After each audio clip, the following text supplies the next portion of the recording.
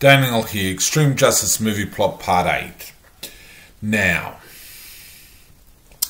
they're back in New York and they spend, uh, they sleep the night in the Extreme Justice headquarters, which is possibly the old Justice League headquarters in the, um, of, of, in that tunnel sort of thing in Justice League International. I'm not sure exactly at this stage, but, um, but they spend the night and, um, the following morning, Blue and Gold get up and they wander into the the meeting room where, where the other members are gathered. About time you show, guys showed up, says Captain Atom. We've got something to discuss.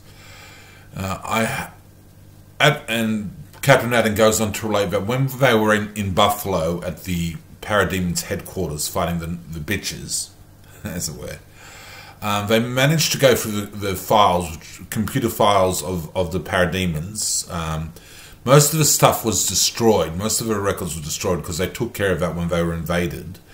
But they managed to find one file, and it had what appeared to be a map of Earth, and there were some locations marked on the map. And they they found a, a place in the not sure where it is in the Justice League movie where Bruce Wayne goes to investigate. They've pro- that's in Scandinavia probably or somewhere. I'm not sure. It might be up in the north coast or something.